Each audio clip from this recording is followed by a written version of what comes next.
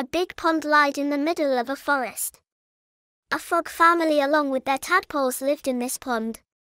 Mother and Father Frog taught the tadpoles to swim. All the tadpoles learned to swim every day until they became good at it.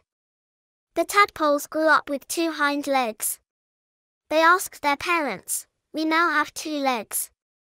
Can we go up to shore? Father Frog said, You still cannot go up to shore until you are older.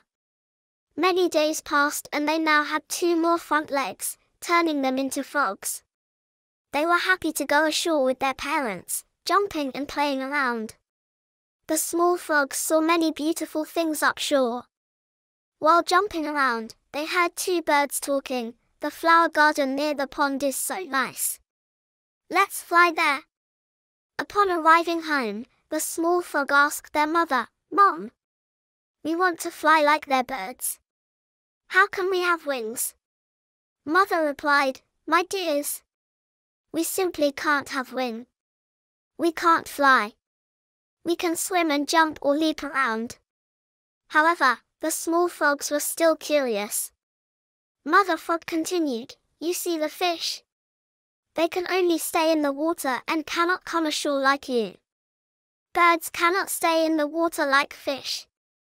The small frogs were still curious and wanted to know if what their parents told them were true or not. The small frogs invited their fish friends, Fish, do you want to play with us on shore? The fish replied, We can only stay in the water. We just cannot go ashore. The small frogs were still unsure then went ashore to the birds. The small frogs asked, Bird, do you want to play with us in the water? The bird replied, We do want to play with you but we can't stay in the water. Oh. We're luckier than fish and birds as we can stay both in the water and ashore. No more curiosity,